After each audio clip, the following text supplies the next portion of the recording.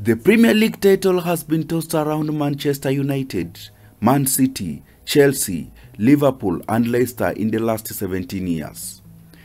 This had reduced Arsenal to a top six chaser, almost a mid table team. The process of making the current red and white has been tough and hard, resulting in hiring and firing managers considered the best in the world of soccer. With the Gunners establishing a five point lead over City ahead of their clash, Gunners fans are starting to dream of their first title since 2004. It might be a little difficult to believe it happening after seeing how City played against Wolves, a performance which redefined Pep Guardiola's strength at this point of the league.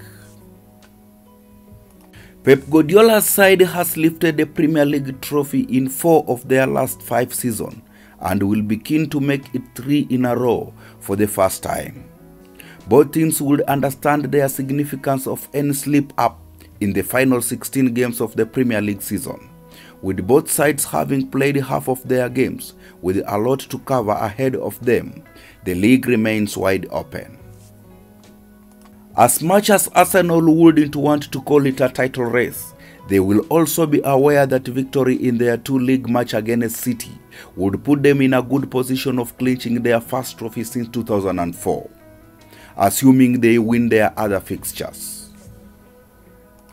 So while Pep Guardiola and Arteta will retaliate that they are not focused on what either of the side is doing, a section of their fans has revealed that they are watching games and results closely with an intention of being crowned at the end.